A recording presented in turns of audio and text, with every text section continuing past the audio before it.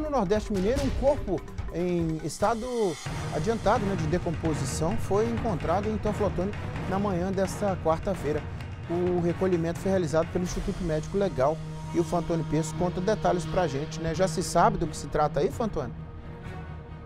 Nós estamos na Vila Jacaré, na zona sul de Teoflotone, onde a Polícia Militar foi acionada para uma ocorrência de encontro de cadáver. O corpo da vítima está ali próximo àquela árvore, a Polícia Militar preserva o local até a chegada da polícia. O detalhe é que a perícia acabou de chegar, está parada ali na Avenida Altamiro Nunes Leite, e as informações são de que Inclusive tem até um parente e pessoal da Associação dos Moradores do Bairro Taquara a suspeita de que esse cidadão seja uma pessoa que saiu de casa, fugiu do hospital há cerca de 15 dias, estava sendo procurado pela família e agora cresce a expectativa para saber se é ou não.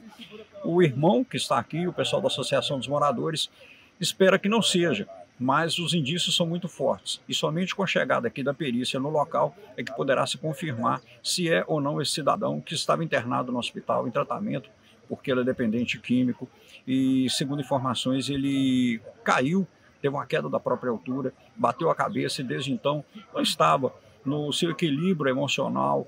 É, então, por conta de todos esses fatores, a, a, possibilidade que ele tenha fugido, né, a justificativa que ele tenha fugido do hospital onde estava internado, em tratamento, e agora, a, após 15 dias de buscas, cresce essa expectativa para saber se é ou não esse, esse corpo desse cidadão que estava desaparecido. Fantoni, penso para o balanço geral.